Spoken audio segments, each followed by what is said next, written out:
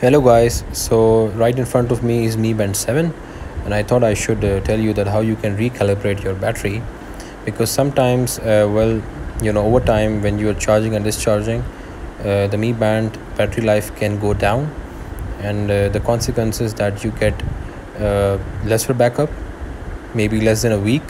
So let me uh, tell you how you can recalibrate your battery so that you get almost almost 10 plus days out of your band so let's stay tuned till the end. But first you need to completely discharge your band.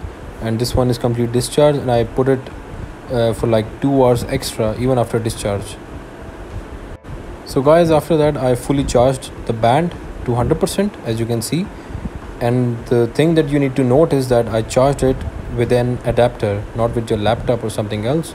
This is an adapter and uh, your band should support 1 ampere of charger not more than that because uh, excess power can damage the battery but 1 ampere is uh, enough and well you need to charge it fully.